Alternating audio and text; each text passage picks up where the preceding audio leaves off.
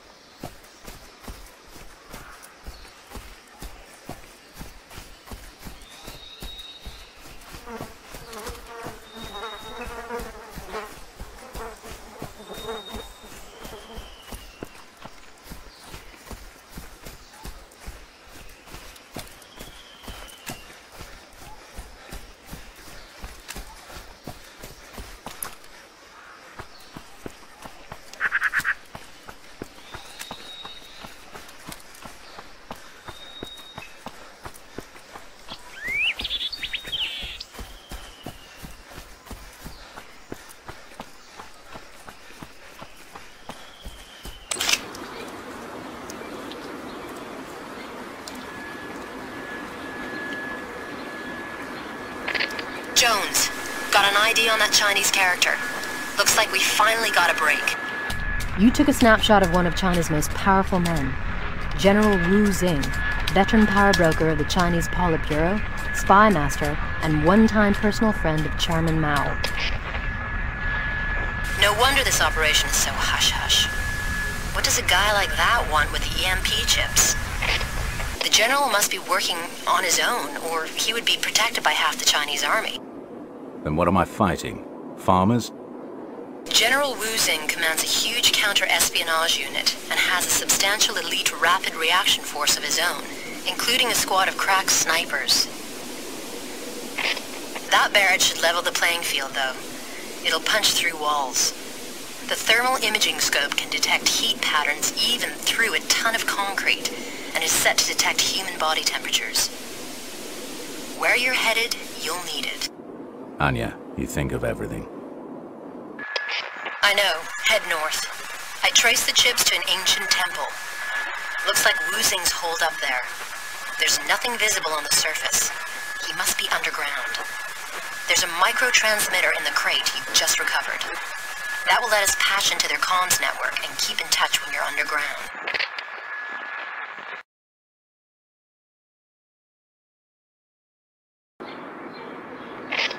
Temple housed hundreds of monks many years ago. This was a peaceful island once. Well, times are changing. What are my objectives here? Let me guess. I go in, kill everyone, steal the tech, and get the hell out. Well, First, you need to deal with the snipers covering the main gate. I need access to their comms network before we can make use of the microtransmitter.